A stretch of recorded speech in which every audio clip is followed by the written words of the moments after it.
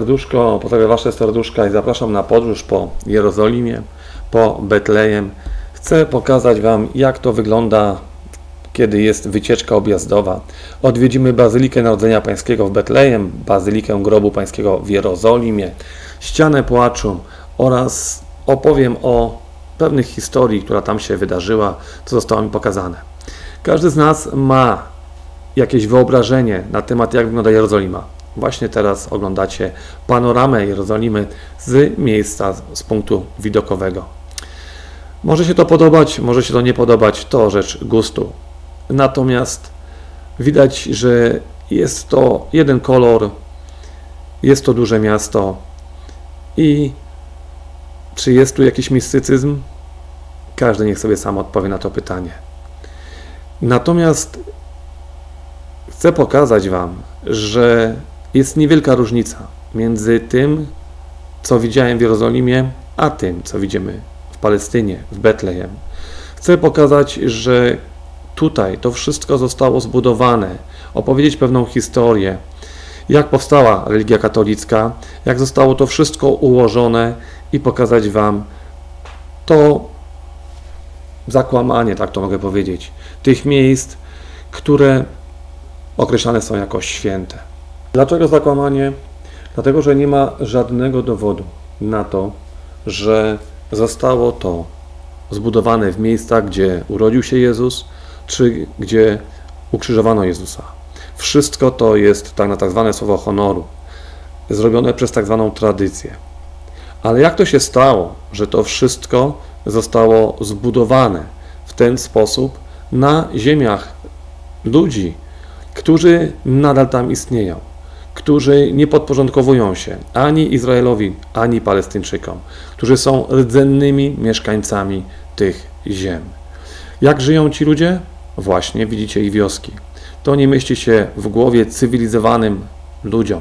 Beduini? Właśnie tak. Domek z blachy postawiony tam, gdzie chce.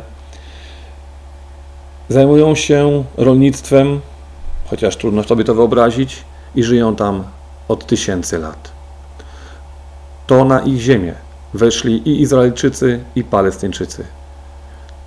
I jedni, i drudzy nie umieją sobie z nimi poradzić. Teraz już jedziemy do Betlejem. Jedziemy do świątyni, aby zobaczyć, jak wygląda miejsce, w którym podobno narodził się Jezus. To droga pokazująca Jerozolimę, zwykłe miasto, aby porównać ją z Betlejem. A tu już jesteśmy Palestynie, w Betlejem. Był mur, przejechaliśmy przez mur i mamy takie domy. No niewielka różnica między Jerozolimą a Betlejem, a wręcz mogę powiedzieć, że mijając domy w Jerozolimie, te w Betlejem są ładniejsze. Tu mamy ten sławetny mur, którym Izraelczycy po prostu odgadzają się od Palestyny. Jak to jest, że naród, który wyszedł z getta, który był ogrodzony murem, teraz sam stawia mur. Jak to jest, że w ich domach, w ich oknach jest mnóstwo krat, a oni również szukali wolności i wyszli z tych krat. Widać, że narody nie nauczą się na swojej historii, a powielają błędy z historii. Cały czas jedziemy do bazyliki, gdzie urodził się podobno Jezus. Ściany i ślady wojny. To jedyny ślad, który zobaczyłem tam, patrząc na panoramę Palestyny. Ślad niby wojny, ale nie widziałem tam żołnierzy, przy murze nie ma żołnierzy. Więc widać, że to wszystko zupełnie inaczej wygląda w rzeczywistości. Jest mur, a tu jest Palestyna. Żyją obok siebie na ziemiach Beduinów. Kto ich tam dał? Kto zaprowadził Palestyńczyków i Izraelitów na tę ziemię? Tu trzeba się cofnąć do historii i odczytać historię po II wojnie światowej. To nie oni sami wybrali tę ziemię, lecz w siódmym roku po wojnie ONZ podzielił tę ziemię na ziemię dla Izraela i dla Palestyny. czyli to społeczność międzynarodowa, spowodowała, że powstały te dwa państwa.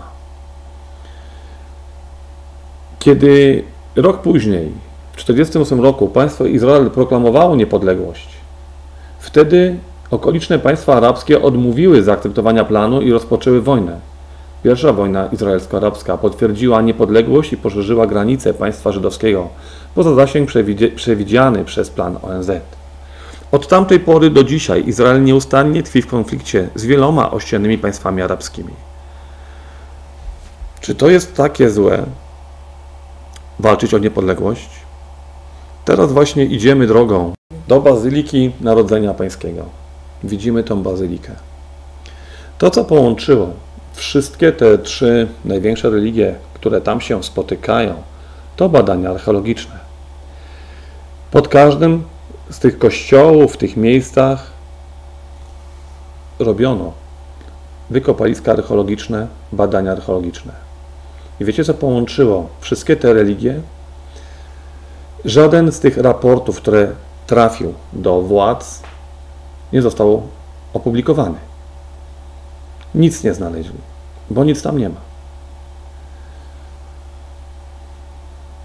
W tym byli zgodni wszyscy, że skoro jest miejsce, gdzie można pielgrzymować, gdzie można właśnie w ten sposób schylać się, żeby wejść do tych bazylik, to można to wszystko tutaj dalej utrzymywać.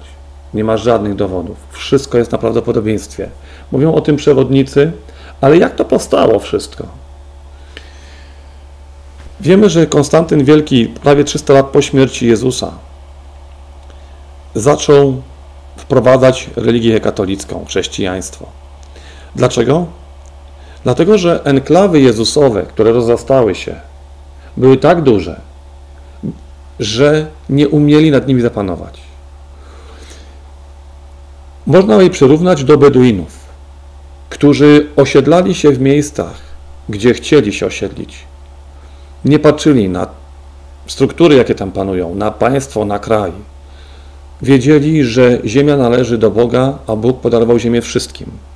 Nie wybrańcom danej religii, nie jakimś Palestyńczykom, Izraelitom, Polakom, Niemcom. Ziemia to ziemia. W jej morzu wykąpie się każdy. Z rzeki napije się każdy. I tak po w niepostąpieniu Jezusa i po tym, jak wędrował sobie potem po ziemi z Marią Magdaleną i ze swoją rodziną, trzeba było coś zrobić z tymi, którzy zostali. Co zrobili? Kiedy enklawy Jezusowe były tak mocne, że były nie do ruszenia, były poza ustrojem, poza systemem pieniądza, były oparte na miłości, trzeba było przeczekać, aż umrze pokolenie, które znało osobiście Jezusa. Rodziły się pokolenia, które już powielały pewną legendę o tym człowieku, o Synu Bożym. Ta legenda rozrastała się, a z nimi enklawy. Nie pasowało to ówczesnym władzom, bo większość ludzi uciekała do tych enklaw, aby żyć w miłości, w harmonii, w spokoju. Trzeba było coś z tym zrobić. Trzeba było jakoś tych ludzi przyłączyć do siebie. Tu widzimy to, do czego wszyscy tam zmierzają. Kolejki, półtora godziny stania, aby wejść do tego miejsca, gdzie niby urodził się Jezus. Aby co zrobić? Aby dostać się pod ołtarz i dotknąć kawałka plastiku. Cała filozofia. Kto wmówił ludziom, że to jest coś świętego? Zrobiła to mama Konstantyna, czyli Helena, tak zwana święta Helena. Tu widzimy to miejsce, do którego wszyscy klękają i dotykają. Tak wygląda to miejsce. Pełno obrazków po to, aby zrobić jakiś mistycyzm. Helena, widząc, że Konstantyn jest wojownikiem, żołnierzem, walczy o władzę, potrzebowała zapewnić mu byt. Konstantyn potrzebował żołnierzy. Skąd miał ich wziąć? Kiedy zobaczył, ile już ludzi jest w enklawach Jezusowych, Chrystusowych, musiał ich zmusić do walki. Żeby zmusić ich do walki, trzeba było ułożyć ich religię, zakończyć prześladowania. Są takie smaczki jak ten, tak zwany święty Jerzyk pogromca smoków, ale przecież smoki nie istniały, to na pewno były demony. To więc nie, dlaczego nie został pogromcą demonów, tylko smoków? O tym już kręciłem film. Tutaj znowu widok na Palestynę po wyjściu z kościoła i droga już do grobu pańskiego. W Jerozolimie, tymi uliczkami, czy to się komuś podoba, czy nie, rzecz gustu. Zapach nie jest przyjemny, ale tędy wędruje się do tych kościołów. Wędrując po tych uliczkach, zadawałem sobie pytanie, jak to tam naprawdę było. A ponieważ mogę się cofać do wcieleń, gdzie żył Jezus, zobaczyłem, że kiedy Jezus odchodził z tego świata, kiedy był składany do grobu, kiedy później zmartwychwstał, nastała panika. Rzymianie i Żydzi również, którym nie pasowało to, co mówił Jezus, którym nie pasowało to, że znegował ich tak zwanego Jahwe. Chcieli zacząć wszystkie ślady na temat Jezusa. Dogadali się z Rzymianami i zacierano wszystkie ślady. Zniszczono krzyż, po tym jak wstał z grobu, zniszczono też grób. Aby nie było żadnego śladu po kimś, kto mówił o miłości i prawdzie. Zaczęły powstawać te enklawy. Ludzie zaczęli wychodzić z systemu. Zaczęli żyć według jego słów. Co przeraziło ówczesne władze i tamtą religię. W tym momencie Konstantyn, 300 lat po śmierci Jezusa, zobaczył, że nad tym nie da się zapanować, że te enklawy się rozrastają, że trzeba zmienić coś, że trzeba po prostu nad tym zapanować. A jako świetny dowódca wojsk wiedział, jak panować nad ludźmi, jak zmusić ich do walki. Po Jezusie nie zostało nic tak naprawdę. Wszystko zostało zniszczone, aby nie powstał kult, nie powstała religia, aby stary porządek trwał. Czekano, aż wymrze pokolenie, które znało go osobiście, aby łatwiej manipulować pokoleniem, które traktowało już opowieści jako legendę. W tym momencie Konstantyn razem ze swoją mamą zaczęli układać enklawy Jezusowe pod siebie, dając im co? To, co chcieli, w co wierzyli, dając im takie święte miejsca, takie bazyliki, budując pewne rzeczy. Według naszej przewodniczki, Helena obudziła się w jeden dzień i powiedziała, że wie, gdzie jest krzyż, gdzie jest relikwia. Obudziła się w drugi dzień i powiedziała, że wie, gdzie jest kamień, na którym złożono Jezusa. Że ona wiedziała, gdzie są relikwie, dając tym samym dowód na istnienie Jezusa chrześcijanom. Oni oczywiście to przyjęli, no bo wreszcie ktoś przyznał im rację. Wreszcie ktoś docenił, dowartościował to, w co oni wierzyli. A jeszcze mając na to dowód, którego nie ma na świecie. I o tym mówią wszyscy archeologowie, również tutaj. W każdej telewizji można usłyszeć, że to wszystko jest oparte tylko na tradycji. Nie ma żadnego dowodu na temat krzyża i tak dalej. Wszystko to wymysły ludzi. Więc Konstantyn natychmiast zaczął powielać, że będziecie mieli swoje świątynie, że będziecie mieli swoje relikwie. I brakowało czegoś jednego. Jeszcze jednej rzeczy. Wiedział doskonale, że jeżeli chcesz panować nad wojskiem, nad ludźmi, to trzeba dać im prawa, kodeks, według których będą żyli.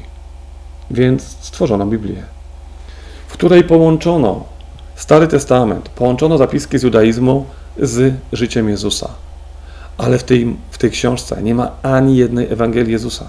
Jak to jest, że się buduje religię na Jego słowach, a nie ma tam Jego słów? Wszystko to jest zasłyszane przez jednego ucznia, drugiego, przez osobę i tak dalej, tak dalej. Połączono słowo oko za oko, szanuj bliźniego swego. Tutaj widzimy grób. Kolejny absurd, jaki tutaj jest. Wszystkie te religie kłócą się, że w tym miejscu leżał Jezus, tu była głowa, tu były nogi.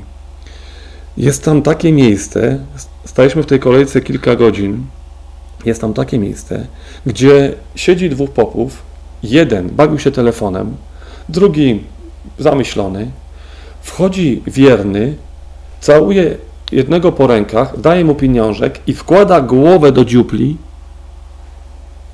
bo tam była głowa Jezusa.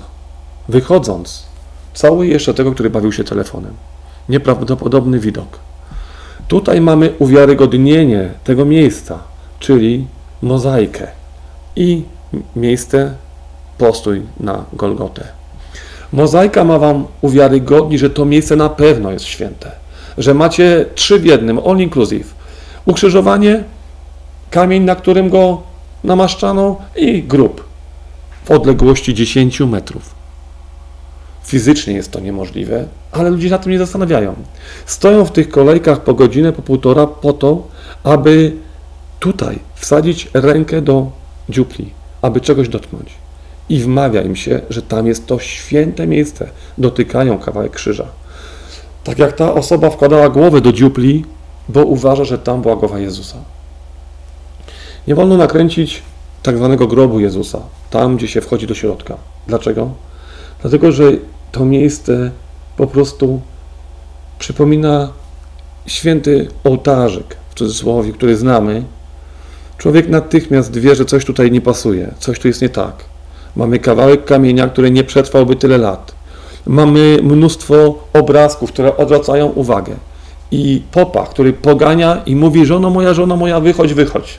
Czyli żart, bo tylko tak można to wszystko przyjąć do wiadomości. Jesteśmy na Golgocie. Mnóstwo ludzi czeka, aby wsadzić tam rękę. Przepiękne mozaiki, które mają uwiarygodnić to miejsce. W tym momencie zrozumiałem, że cała ta religia była układana od podstaw, aby dać ludziom, którzy chcą wierzyć, miejsce, książkę i rozgłaszać, że to jest święte, a w święte rzeczy ma się wierzyć i nie wolno zadawać pytań. Nie ma tutaj grama mistycyzmu, nie ma nawet czasu na jakąkolwiek modlitwę. To kolejka, wejście. Myśmy mieli podobno szczęście, bo staliśmy na dole tylko półtora godziny i ponad godzinę na Golgotę. Ale grupa, która była po nas, stała 3,5 godziny do samego grobu. To już ściana płaczu. Pokazanie nam, że religie mogą zrobić z ludźmi wszystko. To ja, żeby wejść na ścianę płaczu, trzeba założyć taką czapeczkę. To kolejny przykład, co religia potrafi zrobić z ludźmi. Kłamstwa powtarzane setki lat staną się prawdą dla wielu ludzi. Nie ma grama dowodu, że ta ściana, że te kamienie są w miejscu, gdzie była ta ich pierwsza świątynia. Ale oni wierzą, że tak jest, bo tak im powiedziano, tak jak chrześcijanom powiedziano o relikwiach, o świętych miejscach. Każda religia, jak widzicie tutaj, ma swoją gimnastykę. Sport to zdrowie. Natomiast to, co zwróciło moją uwagę, to jaskółki, które latają u góry. Przed chwilą kilka z nich latało. Całe te modlitwy, które tam są, wszystkie te życzenia, karteczki powkładane z marzeniami, cała ta energia, która się tutaj tworzy, jest sprzątana przez ptaki, które latają nad nimi w kółko. Żyją w tych ruinach, w tych kamieniach i tam sprzątają to, co tutaj się dzieje. Pewnie wielu katolików zacznie się śmiać z, tych, z tego, co robią Żydzi, Izraelici, z tego bujania się do ściany. Każda religia ma swoją gimnastykę. Oni się śmieją z klękania, z tego, że ktoś będzie na kolanach szedł do jakiejś świątyni. Muzułmanie śmieją się z klękania i z tego kiwania się, a sami oddają pokłony na dywanach. I każda religia ma jakąś gimnastykę i każdy wierzący wyśmiewa tamtą gimnastykę, nie widząc absurdu swojej gimnastyki. Cała ta przygoda z Jerozolimą pokazała mi, że religie potrafią wmówić ludziom wszystko i nie lubią, kiedy zadaje im się pytania. Nie lubią tego, że w tym wszystkim Chodzi o podziały na lepszych i gorszych, na lepszą i gorszą religię. Tam po drugiej stronie jest ściana dla kobiet. Oddzielono kobiety i mężczyzn. Tu na zakończenie tego filmu jest znak templariuszy, czyli ludzi oświeconych i obudzonych, którzy zaznaczyli te miejsca, wiedząc, że wiele, wiele osób będzie przychodziła tutaj, aby czegoś doznać, aby połączyć się z tym, aby odkryć prawdę, czym są religie, jak budują podziały, jak budują nienawiść wśród ludzi, jak każdy uważa, że jedna jest lepsza od drugiej. Wszystko to, co tutaj widziałem, utwierdziło mnie w przekonaniu, że człowiek wolny od religii naprawdę jest człowiekiem szczęśliwym. Jak zobaczyłem, co stworzyli ludzie, mogłem zagłębić się w piękno natury. Zobaczyć, jak cudowny jest ten świat i jak, mając wolną wolę, ludzie dla władzy, dla manipulowania innymi, dla własnych korzyści potrafią zbudować na kłamstwie wszystko. Dostarczyć kłamstwem święte miejsce, świętą relikwię, świętą księgę.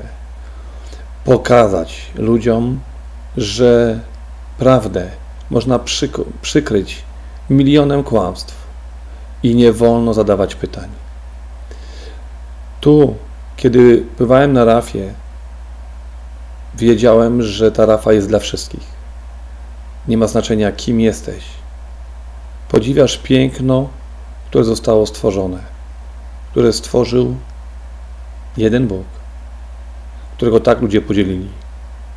Wszystkie religie zaczynają się od tego samego, że jest jeden Bóg. Wszyscy tak zwani wielcy tych religii mówili to samo. Abraham mówił: Jest jeden Bóg. Chcę, abyście zrozumieli, że jest jeden Stwórca, który nie ma podziałów na lepszych i gorszych. Ale kiedy chodzi o władzę, o pieniądze, kiedy jego żona podzieliła miłość na lepsze dziecko i gorsze dziecko, wtedy nie udało mu się stworzyć tego, o co został poproszony. Jezus mówił to samo. Jest jeden tatuś, jeden ojciec, jeden stwórca. Wszyscy jesteśmy Jego dziećmi. Nie ma lepszych i gorszych. Dla Boga wszyscy jesteśmy równi. Wszystkim podarował to piękno, które teraz oglądacie. Ale dla władzy, dla pieniądza, dla własnych korzyści ludzie potrafią zbudować wszystko. I na jego słowach nie da się zbudować religii. Bo nie da się zbudować religii na słowach o wolności, o tym, że każdy jest dzieckiem Boga i w jego oczach każdy jest równy i każdego kocha tak samo. Nie ma lepszych i gorszych. Nie ma umierania za jakiś naród, za jakąś misję, za jakieś prawo. Jest szacunek do życia, szacunek do prawdy, szacunek do miłości. Dlatego nie ma jego słów w Ewangelii. Mnóstwo zostało przepisanych słów pod dyktando religii. Konstantyn musiał ułożyć tą religię po swojemu wraz ze swoją mamą podarowując chrześcijanom to, co chcieli otrzymać. Dał im wszystko. Święte relikwie, święte miejsca, świętą księgę. A oni w zamian zaczęli być z nim. Zaczęli bronić tego i dali się manewrować w wojny, w walkę, gdzie Jezus mówił: Nie walcz. Więc trzeba było pokazać w Biblii, że on też walczył, też był słaby. I stoiska, po których poruszaliśmy się w Jerozolimie, on również powywracał do góry nogami.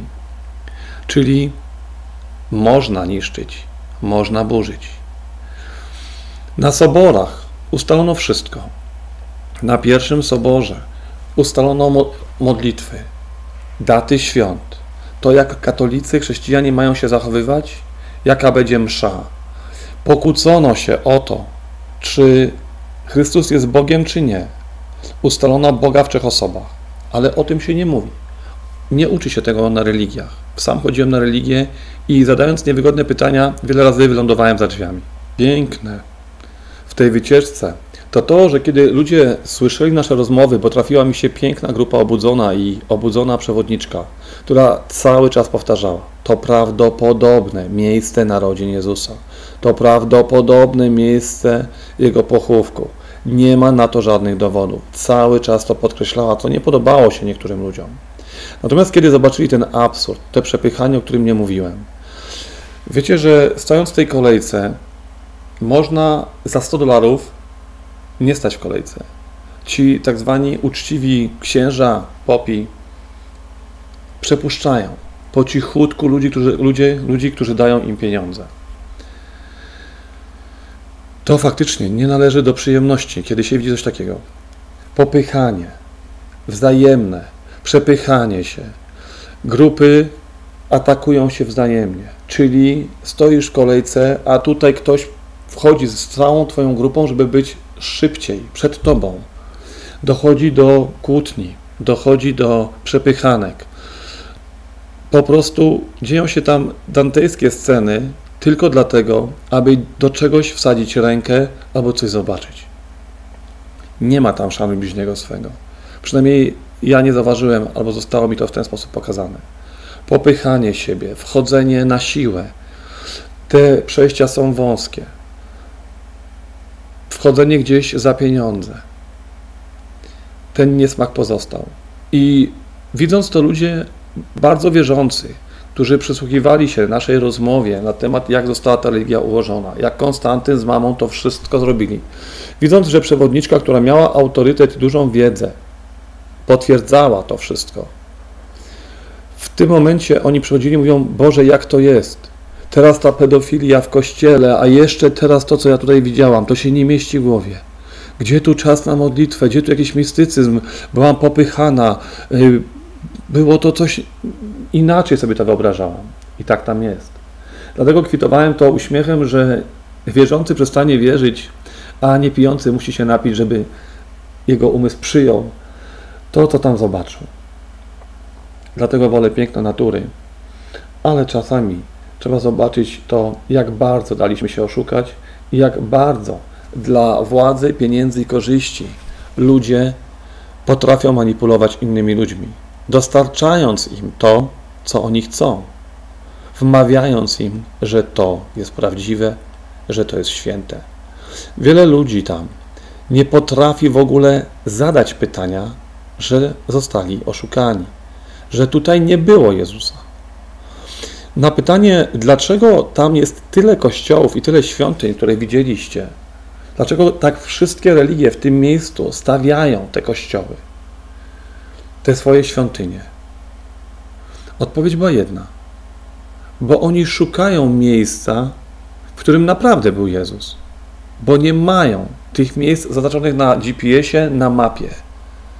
Pokolenie, które znało Jezusa, wymarło i zostały legendy legendy, które przenosiły wartości.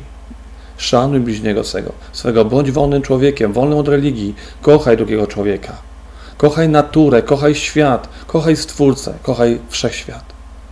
Tu nie chodziło o księgi, o zapiski, chodziło o wartości, o szacunek, miłość, dobroć, szlachetność. I nagle okazuje się, że świat pieniądza i systemu oparty jest na dowodach. Ja jak dotknę, to uwierzę. Jak sadzę rękę w dziuple, to uwierzę że tam jest święte miejsce. Ja będę mógł, mogła powiedzieć, dotknęłam podstawy krzyża, czy miejsca, w którym się urodził Jezus. A jak ktoś zapyta, a skąd wie, że tam był Jezus? Kto to udowodnił? No jak to? Przecież to powszechnie wiadomo. I nagle, kiedy słyszą, nic nie wiadomo. Nie ma żadnych dowodów, że to jest prawda. Są zdziwieni. Widziałem zdziwienie olbrzymie w oczach ludzi, którzy mieli zaprogramowane, że to jest święte miejsce, a nagle słyszą prawdopodobnie, być może, nie ma żadnych dowodów. Wręcz tak jak teraz wychodzi film o oszustwie religii, o tym jak tuszowano te sprawy, tak dokładnie tuszowano wszystkie wykopaliska archeologiczne. Konstantyn dostarczył ludziom to, co chcieli mieć, co chcieli otrzymać, aby mieć z nich korzyści. I tak do tej pory to trwa. Każda religia chce mieć korzyści ze swoich wiernych. I każda religia oparta jest na finansach, na pieniądzu. I teraz, kiedy to wszystko się rozsypuje, kiedy wychodzi prawda, zostaje nam cieszyć się tą wolnością, tą naturą, tym pięknem, które zostało podarowane nam za darmo. Które przyjmie, która przyjmie każdego. Przyjmie każdego, kto będzie chciał podpłynąć, zobaczyć naturę, wejść na górę, zanurzyć się w morzu, w oceanie. Kto wyjdzie ze świątyń, z propagandy, a zrozumie, że świat jest o wiele piękniejszy niż jedna religia, niż jeden kraj, jedna narodowość. I dlatego to wszystko teraz się rozsypuje. Dlatego to wszystko teraz się zmienia. Dlatego będziemy widzieć sceny, w których całe to zakłamanie, całe to oszustwo wyjdzie na jaw. I co nam zostanie w tym momencie, kiedy nasze umysły będą się gotowały? Zostanie nam docenienie tego piękna, które zostało nam podarowane za darmo. Połączenie się z energią tych miejsc, roślin, natury, zwierząt, istot. Zrozumienie, że wszyscy jesteśmy swoimi braćmi i siostrami i że najwyższy czas tak siebie traktować. Nie popychać się, aby zobaczyć jakieś święte miejsce, aby wsadzić rękę do jakiejś dziupli, do jakiegoś otworu. Nie wyzywać się, tylko dlatego, że ktoś buja się pod ścianą, a ktoś inny klęczy na dywanie, a jeszcze ktoś inny robi zupełnie inne rzeczy, inną gimnastykę. Zostaje nam zrozumieć, że to wszystko było zbudowane, abyśmy mieli wybór. Chcesz klęczeć, klęcz. Chcesz się bujać, bujaj się. Chcesz się kiwać, kiwaj się. Chcesz oddawać pokłon na dywanie? Oddawaj. Tylko nie mów, że to jest jedyna droga na świecie i w rzeczywistości. Powiedz, że to jest Twój wybór i w tym wyborze jest Ci tak, jaki jest. Natomiast Twoje życie i życie każdego z nas zweryfikuje, czy ten wybór jest właściwy, czy nie. Natomiast jeżeli patrzę na miny zawiedzionych ludzi, jeżeli rozmawiałem później z tymi ludźmi z tej grupy, byli zdumieni, że to wszystko tak wyglądało. Nie było w nich zachwytu. Kąpiel w Morzu Martwym dała im o wiele większy zachwyt niż bycie w tak zwanych świętych miejscach. To najlepsza puenta do tego filmu i do tego obrazu. Tak naprawdę jest, że przebywanie z naturą daje nam uśmiech, radość, przyjemność, bo jest dla wszystkich i została dla wszystkich stworzona. A przebywanie w tak zwanych miejscach, świątyniach, świętych, od razu traktujemy siebie jak niewolników, widzimy podział na lepszych i gorszych i ludzie, którzy się tam znajdują, zaczynają się zmieniać. Nie są tacy otwarci, jak kiedy pływają razem na jednej rafie, kiedy wchodzą na jedną górę, kiedy wchodzą do tych miejsc, nagle zaczyna się przepychanka. Nasza religia lepsza, nasza gorsza i tak dalej, i tak dalej. Każdy chce, aby to, w czym uczestniczył, było lepsze od tego, co mówią inni. W Koranie również powiedziano o jednym Bogu, o miłości i radości. Mahomet mówił to samo co Jezus. Jedna religia i druga zaczęła się od odwiedzin Gabriela, ale o tym się nie mówi. Tak chrześcijanin nie myśli. Tak muzułmanin nie myśli. Nasza lepsza, wasza gorsza. Nasza gimnastyka lepsza, wasza gorsza. I w ten sposób ludzie niszczą samych siebie, niszczą ten świat. No i teraz mamy pobudkę świadomości, mamy czasy, kiedy upadnie wszystko to, co zbudowane na kłamstwie.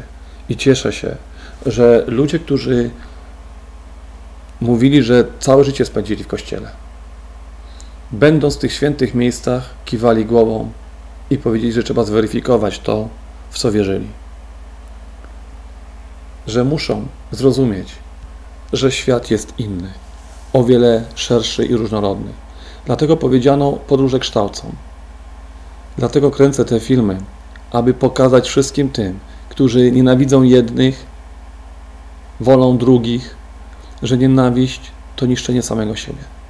Że każdy z nas, czy to Żyd, Niemiec, Polak, Rosjanin, Amerykanin, muzułmanin, Beduin, to dzieło Boga, tego samego Boga. I ma w sercu cudowną, piękną energię, cudowne światło.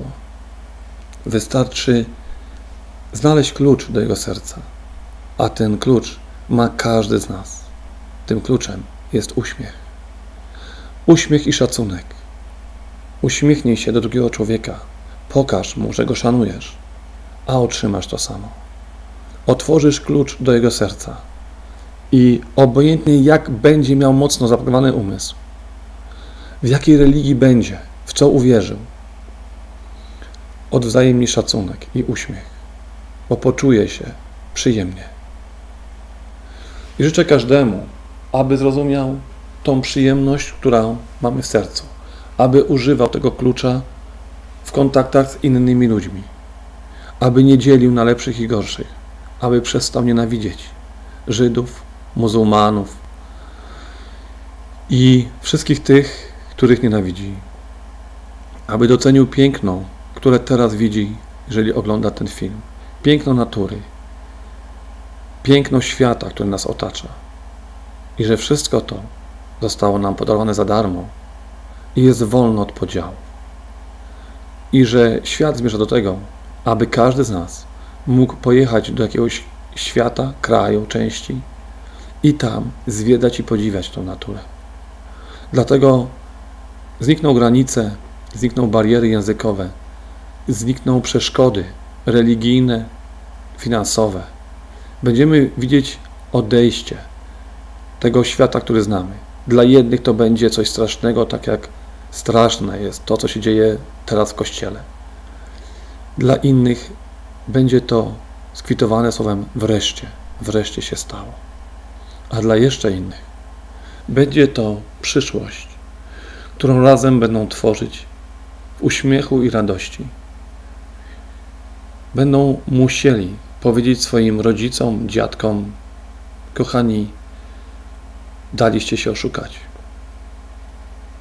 Ale ważne jest to, że nie zgubiliście serca, nie zgubiliście światła, nie zgubiliście uśmiechu, nie zgubiliście wartości, z których jesteście zbudowani. Nie zgubiliście szacunku, dobroci i miłości. To jest przyszłość tej ziemi. To jest piękno, które będzie tworzone. I niech każdy z nas w swoim sercu rozpocznie to piękno, to światło. Niech każdy z nas w swoim sercu widzi przyjaźń do innego człowieka, szacunek do innego człowieka. Niech każdy z nas w swoim sercu będzie wolny od podziałów i religii. I niech każdy z nas skupi się na uśmiechu, na przyjemności, na radości bycia dobrym człowiekiem. Mój pierwszy film o delfinarium w Ejlacie zweryfikował mój światopogląd na temat Izraela. Po Jerozolimie miałem obraz osób zapatrzonych w siebie, obraz osób zgubionych przez religię, osób, które są zdenerwowane i poirytowane, ponieważ stoją w olbrzymich korkach w mieście, dlatego że do tych miejsc przyjeżdża mnóstwo autobusów, mnóstwo podróżnych, więc im niełatwo się żyje w tym mieście. Więc nie dziwię się, że się irytują i złoszczą. Wiele tych osób po prostu wyrażało tą swoją nawet złość na ulicy. Nie było przepuszczania pieszych, wręcz było trąbienie, żeby on zdążył. Bo kiedy się stoi godzinami w korkach, nic dziwnego, że puszczają nerwy. Zresztą znamy to również w naszym kraju i na całym świecie. Dlatego Bóg chciał mi pokazać, że wolna wola może stworzyć wszystko. Że od nas zależy, czy podporządkujemy się jakiejś religii, uwierzymy w te rzeczy, które zostały nam powiedziane, czy zrozumiemy różnorodność świata. Ja na swoim kanale chcę Wam pokazać różnorodność świata i to, że człowiek wolny od religii widzi więcej, potrafi czynić więcej. Potrafi zadać niewygodne pytania, ale też emanuje taką aurą, że ludzie, którzy mają odmienny światopogląd, podchodzą i zaczynają rozmawiać. I to było piękne właśnie w tych miejscach. Katolicy podchodzili i kiwali głową. I kiedy pytali się mnie, z jakiej jest Pan religii, wyznania, powiedziałem, jestem wolny od religii. Moją religią jest miłość, szczęście, pokój, radość. I tego życzę wszystkim. Dziękuję za ten film.